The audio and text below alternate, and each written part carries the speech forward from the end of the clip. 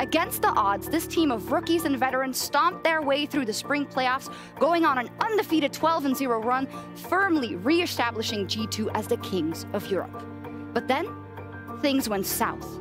Well, east to Korea, where after an explosive start, G2 fluked out of MSI only to pick it back up in summer, but the writing was on the wall. A loss to BDS, then Mad Lions, Fnatic, SK, Misfits, and now an 0-4 losing streak, fear of not even making it to the summer playoffs, let alone Worlds.